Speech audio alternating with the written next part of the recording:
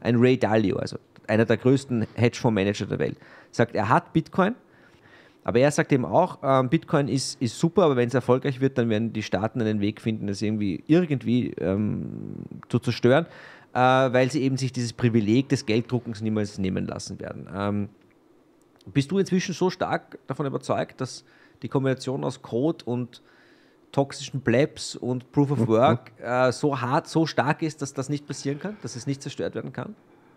Ich bin sogar ziemlich überzeugt davon. Ja. Ich glaube, der Punkt ist, den haben wir bereits hinter uns gelassen. Ja.